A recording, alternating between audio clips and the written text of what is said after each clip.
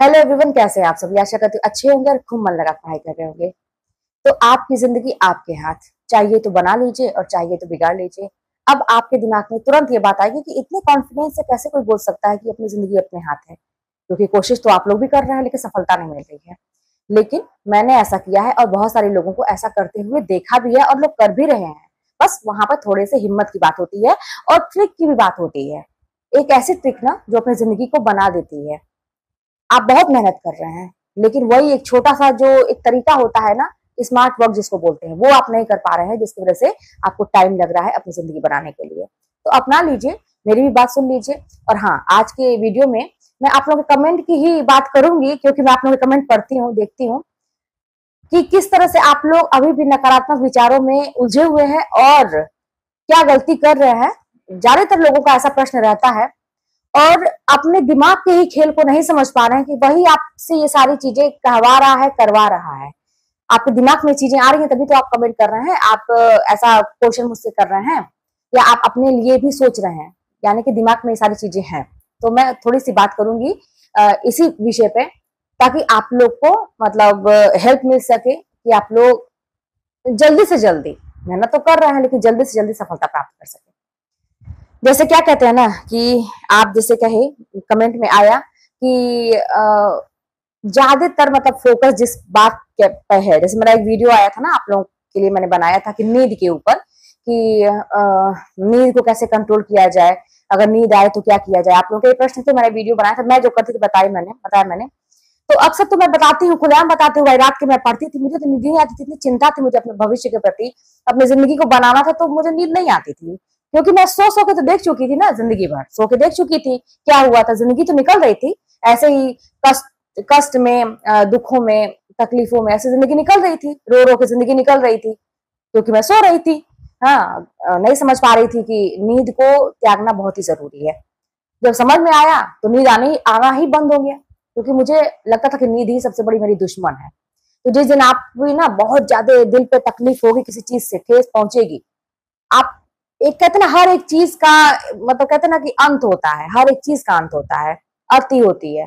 तो दुख का, हो सकता है कि आपको अभी और, अभी आपके अंदर सहन शक्ति हो, अपने दुख को और लाइफ में दुख लेने की सहन शक्ति हो, तभी आप थोड़े से अपने लापरवाह, लापरवाही कर रहे हैं, अपनी पढ़ाई के प्रति और ज़िंदगी बनाने के प्रति।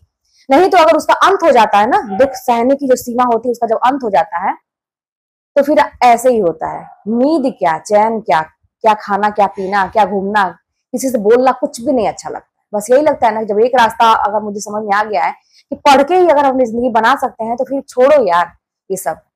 क्योंकि हमारे रोने से, हमारे कष्ट में रहने से किसी और को फ़र्क तो पड़ता नहीं है। तो मैं तो ये चीज़ समझ गई थी, इसलिए मुझे नींद नहीं आती थी। तो कोई बहुत बड़ी बात नहीं थी मेरे लिए। और बहुत सारे लोग अभी भी करते हैं। मैं बड़े बड़े लोगों का सुनती हूँ कि तीन से चार घंटे की आदत है। आराम से उतनी नींद लेते पर्याप्त है एकदम पूरे दिन भर उनको कोई ऐसा नहीं रहता कि वो सोचते रहते हैं कि अरे यार, आज तो मैं तीन घंटा सोया, आज तो मैं चार घंटा सोई, ऐसा कोई बात, ऐसी कोई बात नहीं होती है। तो जैसे आपने कहा, मैं ये देखी ना कि आप लोग का ये फोकस नहीं जा रहा है कि दो बजे तक, ये अगर ये जग रही है तो मैं तीन बजे तक जगूँगी, मैं ढाई बजे तक जगूँगी। मैं ऐसा सोऊँगी थोड़ा सा पहले ही सो गई और रात के दस से ग्यारह बजे उठी और मैं रात भर पढ़ूँगी, चार बजे तक पढ़ूँगी, सुबह के जैसा जैसा आपका बने। या तो मैं तीन बजे से उठ के पढ़ूँगी। अगर ये इतना पढ़ रही हैं, अगर ये चार पाँच घंटा रात में ही अपना दे दे रही हैं, सबके सोने के बाद तो मैं पाँच घंटा, छह घंटा और दे दूँगी, मैं इनसे ज़्यादा करूँगी। ये फोकस किसी का नहीं जा रहा है। बस इस पे जा रहा है ध्यान कि जब आप दो बजे सोती थी तो उठती कितने बजे थी। जानते हैं क्या? है यही मैं समझाने का प्रयास कर रही हूँ, दिमाग। दिमाग ऐसी चीज़ है ना, हमेशा वो ऐसी चीज़ खोजता है जिसमें आराम आराम हो। हाँ आरामदायक चीज़ खोजता है। मज़ा आए जिसमें। आप तो जानते ही है कि ना, हम वही काम करना पसंद करते जिसमें इंटरेस्ट होता मज़ा आता है। लेकिन पढ़ाई तो ऐसी है नहीं भाई, मज़ा तो नहीं आता है, क्योंकि इसमें दिमाग लगाना पड़ता है तो भागता है दिमाग हमारा। और तरह तरह के बहाने खोजता है और अच्छाई में भी ऐसा चीज़ खोजने का प्रयास करता है कि हमें कहीं ना कहीं से आराम मिले। हम मान ले, एक बहाना बना ले कि नहीं भाई, नहीं हो सकता, अगला ऐसे ही बोल रहा है, नहीं, ऐसा नहीं है, ऐसा नहीं कोई बोलता है।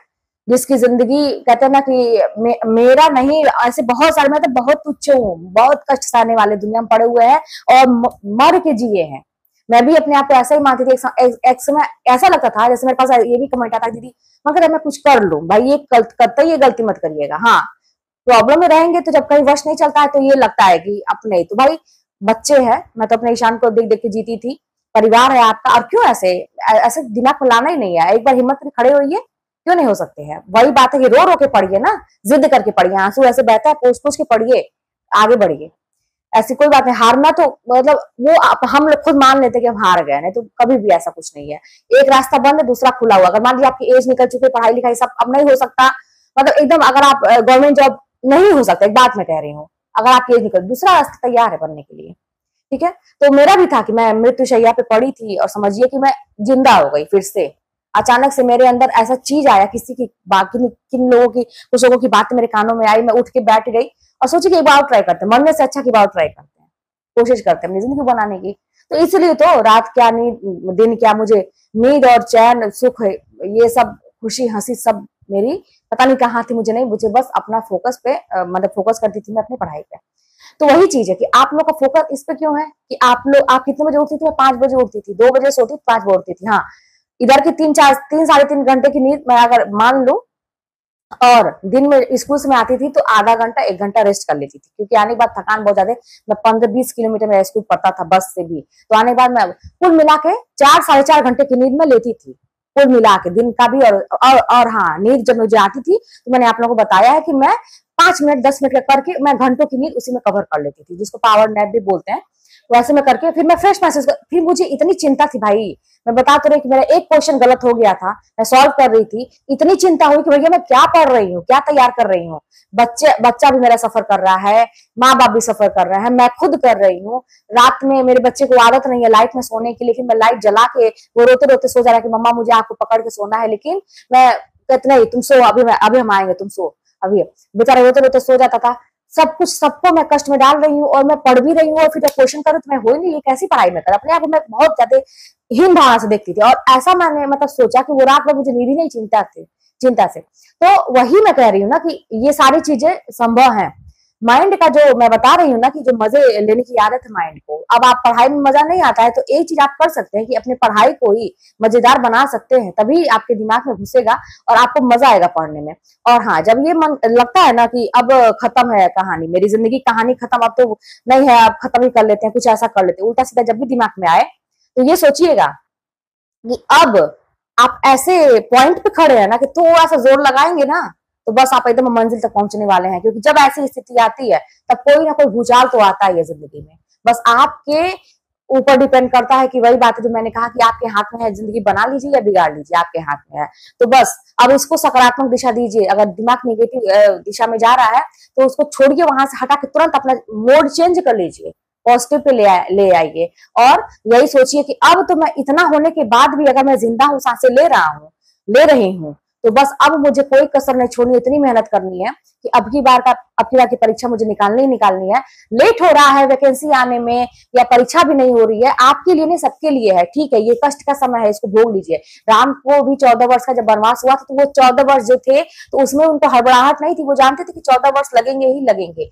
वो आराम से अपनी ज़िंदगी उसी वनवासी वाले, जो उनका तरीका था, उसी में वो कष्टों में ही बिता रहे थे। उसके लिए कोई तो आपका भी ये समय कष्ट का ही है। मान के चलिए, माँ सीता राजकुमारी थी, राजा की बेटी, राजा की बहू, सब कुछ होते हुए भी। कितने कितने दुख जब झेले। भाई, ज़िंदगी में ये ऐसा एक समय आता ही आता है तो मानिए इस चीज़ को।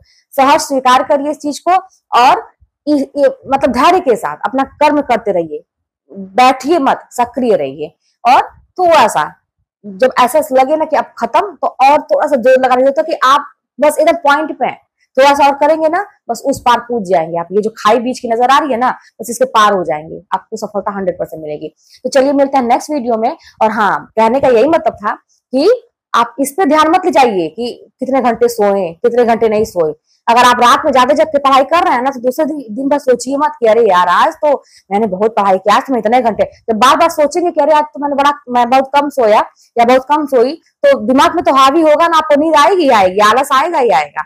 वो भूल जाइए कि आपने रात में कितना मेहनत किया, और मेहनत करिए अगले दिन और बढ़ाइए अपना घंटा। तो मेहनत पे ही सब कुछ डिपेंड करता है। चलिए मिलता नेक्स्ट वीडियो में, कोई बात होगी तो कमेंट के माध्यम बताइएगा।